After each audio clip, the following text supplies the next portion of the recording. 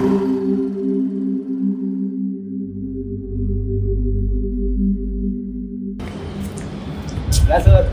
कैसे हो? मैं ठीक हूँ। इतने दिन कहा थे? एक्चुअली वो मैं गाँव में गया हुआ था। अच्छा अच्छा। और तुम कैसे हो? बस एकदम ठीक है सर।